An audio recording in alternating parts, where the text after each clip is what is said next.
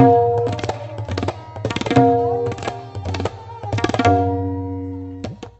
am very happy and very much uh, pleased to know that, you know, my Dada, one of the greatest tabla maestro in this century, Swapanda, Pandit Swapan Chaudhuri, and his disciples is doing a fantastic project of tabla, what he has taught last maybe four or five decades.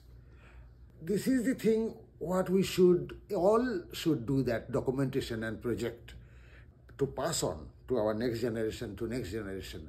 Otherwise, tabla will uh, not remain. So this is the fantastic project and first time is going to be uh, published and I request to all of you know tabla players, tabla lovers, tabla students to please cooperate and support and come forward for this to this project which is not easy to do kind of things.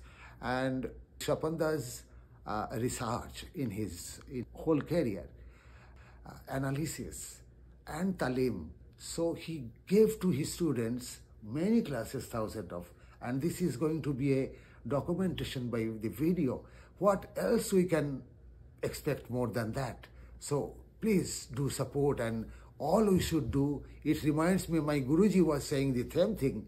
It has to be documentation and videos in 1970s but those time was no tools and no chance to do it. So guruji will be also happy i feel today.